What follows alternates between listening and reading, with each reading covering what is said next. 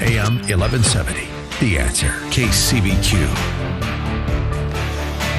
Welcome back. Welcome back. You are listening to Whissel Wednesdays here on AM 1170. The answer. My name is Kyle Whissel, your host with Whissel Realty. And we've worn him out, Mr. Jason Hall with Team Home Loans. We have let him fire off all of his shots. And we can actually turn the attention over to somebody else now, now that you've got your rant out of the way. Yes, We've sir. got Miss Sarah Wood with Allegiance Heating and Air in studio. It's good to see you. Good to see you. Thanks for having me. Yeah. So Thursday, tomorrow, I think. Yes, sir. Yep. We switch over. Summer is over, guys. Like this is our last full day of summer. Did you know that? Yeah, so it's usually what, like the 19th, 20, 21st, depending Something on like that. I believe today is the change? last. What science book we read? Time doesn't change till November Till this November. year. Yeah, but the season officially changes this week. Mm. So we're headed into the fall season. You do HVAC. That's correct. This was a crazy, crazy hot summer. Um, it happens Most humid every I can year. ever remember. You It was remember weird, because we had, like- all, Sarah. This is it. It was like a brutal July, super hot, and then we had like a really nice August, and then right at the tail end of August, going to September, you had the hundred plus degree week. It was crazy. Um, so you guys have obviously been super busy with the air conditioning side of things, but we're starting to make that transition. It's cooling off. There's some moisture in the air. We're headed into the fall. Like, what do people need to know when it comes to their HVAC system? And if you don't know what HVAC stands for, it is. Heating, cooling, ventilation. You're like, what? She's like, I wasn't right for that You're like, question. dang it, I didn't know I this was need gonna be a ventilation, air conditioning. Sorry. I love it. Get a little nervous Um, on the radio. Yeah, we got you. Um, so, what do people need to know as, as the seasons start to change? You know, I, people never know what they need to do as far as maintenance goes, all that kind of stuff. So, lay it out there for us. well, people tend to forget during the summer that we actually do have somewhat of a winter. Um, which the first thing you probably want to do if you have a pro- programmable thermostat is turn that off because people will leave it on and they'll keep their house cool and there's no reason to do that all day every day anymore. So that's probably one of the first things you want to do. Another thing is make sure your walls are insulated. So when you do finally run the heat this this winter not all the hair, the heat is escaping the house Yeah, you don't want to like help the bunnies and the squirrels outside. right right right um, and you want to have, have us come out and, and do a system check and a tune up on your home How often should somebody have a tune up done on their system? I would say a tune up twice a year, once before summer and once before the winter. And then the other two times a year, we'll just come out and change the filters. So four times a year, you should be changing your filters. Two times a year, you should Well, be doing a pre- an times a actual year on preventive. ma- filters? One to yeah, one to every three months, depending on how much you run it. Wow. Okay, I need you back out. So you installed my AC. So she put in a brand new AC unit in my house a couple years ago, and I'm guessing I've not had her back out since. So no, you I probably remind have you all the time too. I'm sure you Yeah. probably have two-year-old filters. Yeah, Jason? so you got to remind the boss. Correct, you your know, wife. my wife. It's true. and so let's let's make Dean, sure you after mean the Dean program Spanos' set his boss? Oh man, oh man. Dean's glad I'm not in, involved in his family. Boy, I had to lay into him. So right now is a good time. Coming in October, November is to have us come out and actually do a furnace tune-up. It is off-season pricing.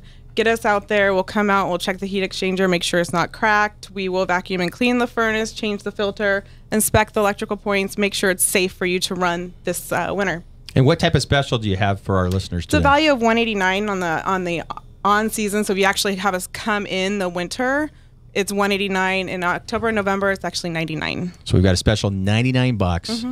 You get it serviced from a local provider. You're 100% owner of the business. Correct. You took it over from your dad when your dad passed away, and you were a San Diego resident, born and raised here in San Diego, and you know that's important to Mr. Hall. And that's why I endorse you. That's why I love you, Thank you. I appreciate that. And that's why I try to refer all of my HVAC clients. Nobody's better than Sarah. There's other companies out there, but there's not many that are owned and operated in San Diego for as many years and woman owned and operated. Yeah, thanks. And I have a I have a good crew backing me up right now. Yeah, you got and you got a great staff. Thank you. So thank you, Yeah. thank you for all you do, and let's make sure we get my wife set. We got to get those I'll those send her filters done. something in the mail. Yeah. I'll give her a call. Yeah, sh- the mail we don't get, so we're gonna have to text her. We'll Okay, text her we'll after text the show. and call. Yeah, Cool. They've evolved in the Hall House. yeah. I thought it was all like but typewriters and all that fun stuff. well, there. y- you know what? We still have the old thermostat, so when we redid Well, that's the everything, other thing you might want to do before we did old winter. thermostats, which are a surprise. Our house is really only three years old, as you know, Kyle. We ripped everything down, redid it, and unfortunately, our electrical guy kind of went with you know the basic stuff. But when we had you on the show last time, you were talking about what's the cool thermostats I think that you Kyle can? like the the Ecobee, right? Yeah, and the I'm, Nest. I'm Let's talk about on that. that. Yeah, so in my personal opinion, the Nest is a stupid thermostat. It was the first smart thermostat, but it hasn't really evolved a whole lot over the years. Um, it was the first to the market that you could control over Wi-Fi. It somewhat learns your temperatures, you know, where you like to have it at. But outside of that, it doesn't really do anything smart. Um, So what's a smart thermostat, Sarah? What do I need to know? The, well, there's a couple different ones. You can go with a, just a Wi-Fi, and you can control that from your phone. So if you want to have it at the furnace off all day and it's cold, you can actually turn it off on from your phone. And if I'm coming home at five o'clock and my house faces the west because I'm on Mount Helix and I want my house cool, I can kick it on like at 4:45. So when I hit the door at 5:15, it's Sure. now nice and cool, right? Things Yep. like that. Yeah, That's why Yep. it's smart. Okay, I need that.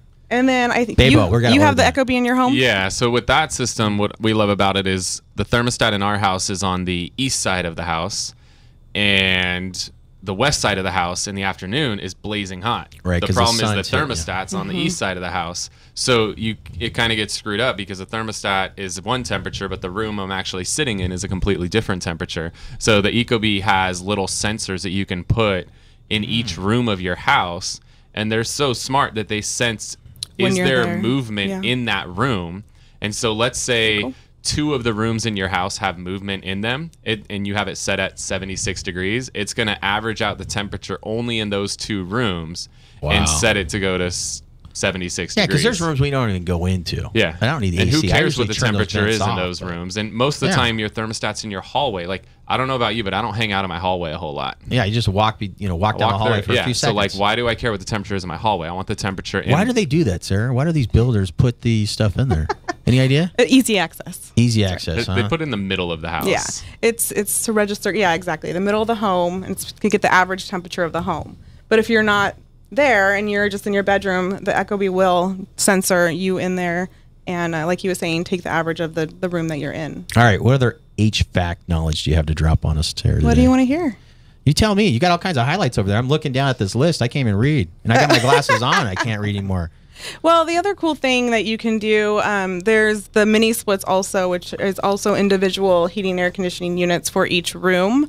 So it's not you can actually have central mini splits, but those so are what's a mini split? So if you have like a room addition or your master bedroom you feel isn't getting the airflow that it needs because maybe it's upstairs and it's a big suite, you can actually throw your the own its own unit up there and it's controlled. You just control that one unit and only cool down that one room at a time. All right, so I you're not that too. cooling down. You want that too. No, I do because we did this. We redid the whole house, Right. And we still have room additions to do, but Mr. Hall's tight, and I like to build up a big cash reserve before I go drop another 100 Mm-hmm. grand to redo my house.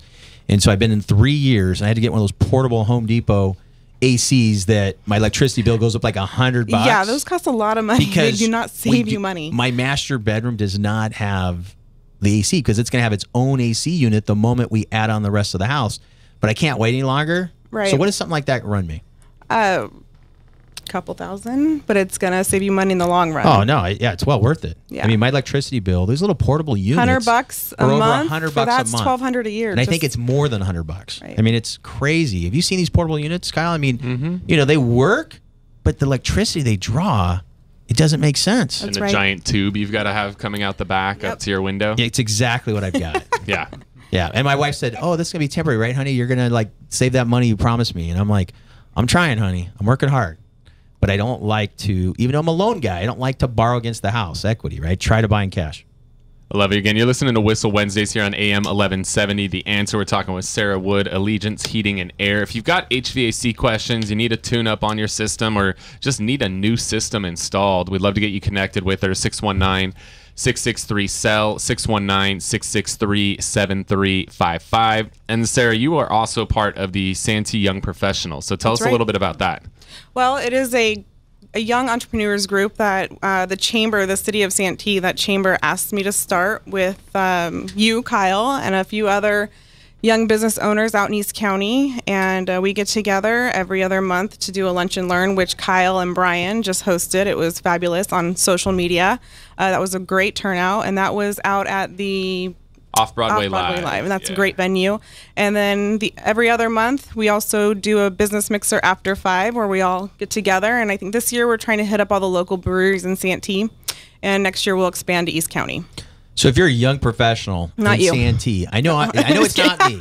I know it's not me. It's okay, right? I'm the guys I'm in totally their teasing. fifties. I know you guys take But let me tell anybody. you this, a lot You guys have older people than me. I know, but if somebody's interested, how should they reach out to you guys to get involved in the Santee YPN, Young Professional Network YPN? SYP, Santee Young Professionals. It's uh, I would reach out to the chamber, the city of Santee, Kristen. Yeah, Okay. so you can go on the Chamber's website or there's a Facebook page for SYP. And tell as them well. you heard, heard it through Kyle Whissel and Sarah Roder Wood.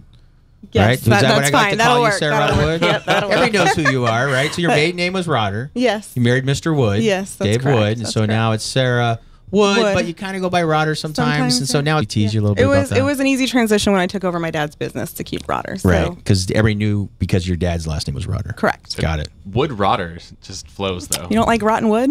wood rotter. You're, you are the wood rotter. I love it. So I'll take what- that. What's the next event you guys have coming up?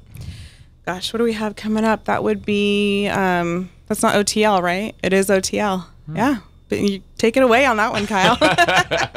Yeah. So if you, what? So OTL. So like the three man boy, O- women boys co-ed. What do you guys got? Yeah, so we've got OTL coming up. It's the second annual OTL out in Santee, um, and it's really made for all ages. So there's going to be a group for youth, there'll be a group for novice, a group for advanced, and then also a group for women as well. Where do you guys host that at? So What's it'll the be at- youth um, ages? Do we have that? I think under 18. I don't remember the I ages. don't think it's kids. Um, but it's coming up October 22nd. It'll be out at Town Center Community Park in Santee, same place they do the concerts at the park. Uh, but it should be fun. We'll probably have 50 or 100 teams out there playing. There'll be a beer garden with a lot of the local beer vendors out there. There'll be food trucks. Um, so it should be a really good time. So Are you hitting up my daughter again, getting her since she's a nationally ranked OTL player now? it's nationally ranked. huh? nationally Really? ranked. Yeah, she's literally nationally ranked. So she played a, with a brand new team this year in OMBAC, and they literally took like third place in the OMBAC of the of the top, you know, the Open division. That's so, awesome. And two brand new players. They never, the three of them never played together. They take third in OMBAC. So did my um, ten-year-old daughter. Ooh. Second though. We both have. They're correct. We both have Oh. softball. We have One softball up. studettes. No, we definitely got softball studettes, both of us. Mine's just like 16 years older than yours. Yeah. Good stuff. Well, if you want to get connected with Sarah at Allegiance Heating and Air, or you want some info on upcoming Santee Young professional events, give us a call, shoot us a text, 619 663 cell 619 663 7355. When we get back from the break, we're going to talk to another Santee Young professional, Garret Campbell, Thrivent Financial. You're listening to Whissel Wednesdays, AM 1170, The Answer. AM 1170.